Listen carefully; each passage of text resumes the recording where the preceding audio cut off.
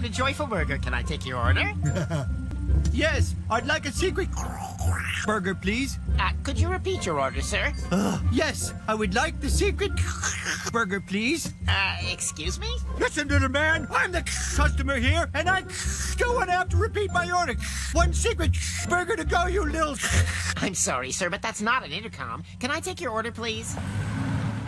One burger. Uh, for real? Was I not clear enough? Uh, have it your way, sir.